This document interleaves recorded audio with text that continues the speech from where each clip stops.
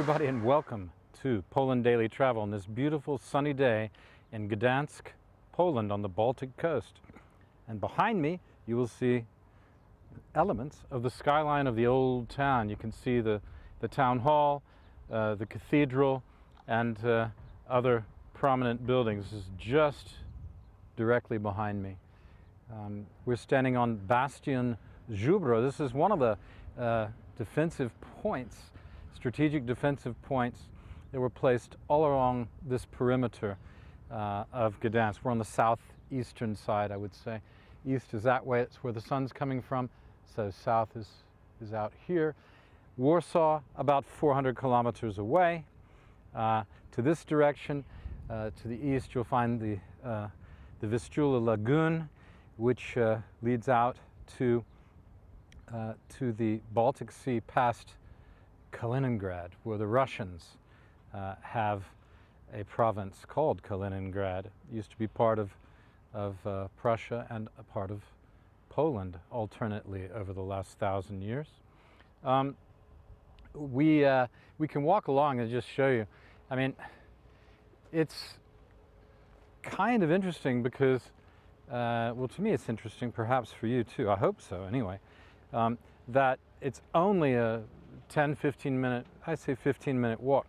And you're out here uh, between the branches of the Mot Motlava River. There's one there, one there, I should turn around and show you, and the other one is there. It's both the Motlava, um, but there's also a canal here. And, uh, and the, these fingers of the river are running into the town. So you have the one that goes around, which was the old moat. That's this big one here.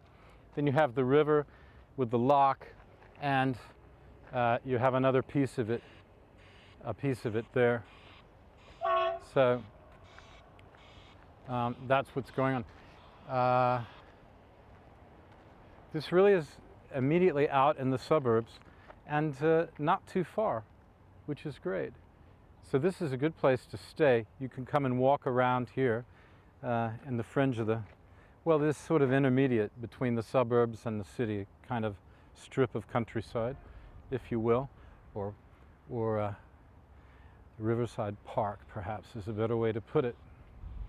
And, uh, and all is well. There's a lot of, uh, lot of construction going on along here.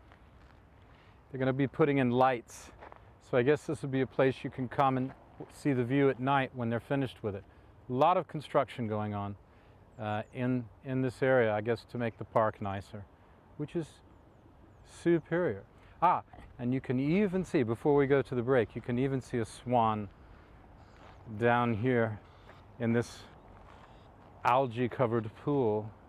Don't know if you can see it. A little swan enjoying uh, a Monday morning, uh, a Monday morning soak. Yeah, oh yeah, boats out on the river over here too. People doing their kayaking or stand-up stand-up paddle boating. Very nice.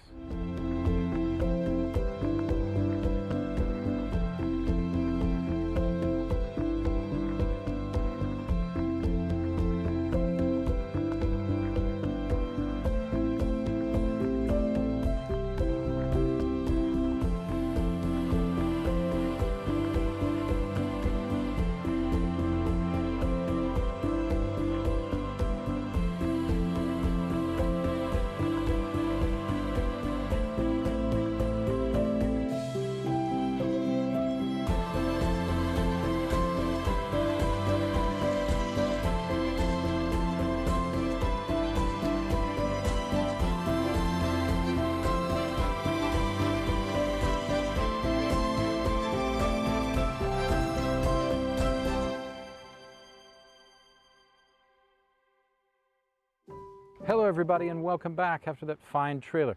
We're in the, we're being barraged here on the on the river that you were just looking at before the break by tourist boats. So uh, they're gonna have to turn around right here because the lock is there and uh, uh, go back the other way. If you were to follow the Motlava all the way out uh, from from where the old town is, you saw the old town in that shot, so you have an idea of how far away we are. If you were to follow that right the way out, uh, to the Baltic Sea, you would come to Westerplatte. Westerplatte is where, uh, effectively, we can say the invasion of Poland began in 1939 on the 1st of September and effectively began World War II.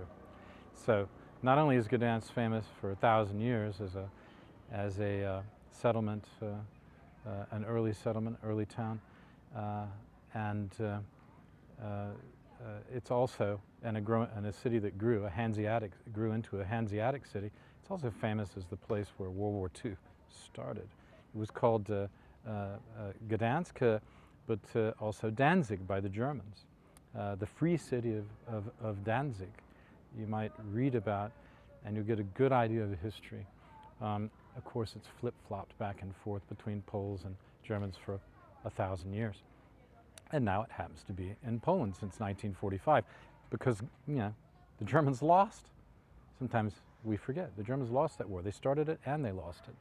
And uh, uh, Poland was uh, the beneficiary of uh, the Allied victory, as well it should have been. And so was Central Europe until, of course, uh, the Russian takeover. Anyway, I also wanted you to see these beautiful apartments built on the canal here. All of this been built in the last 15 years, 10 to 15 years. Uh, so all of this development is new, new. Oh, they're going through the lock. Let's go. Look here. They actually went through. Nice to know. Yeah, they go through and go straight out and uh, down the river. Oh, that'd be fun to do. Yeah, so remember that you can do that kind of journey when you come to Gdansk. Anyway, I'll leave you with this view for now of the canal going back to uh, or the river going back to the old town. And uh, you too can come here, take a boat ride. You can go that way, you can go that way, all the way to Westerplatte in the Baltic Sea. Sounds good, doesn't it? Eat some lunch or some supper while you're on the way. Mmm, it's making me hungry. Okay, we're going to move on now to other sites. We're going to go to Sopot and, if we have time, also Gdynia on this series of programs. So plenty ahead to see. Thanks for watching. I must say, uh, you're looking well.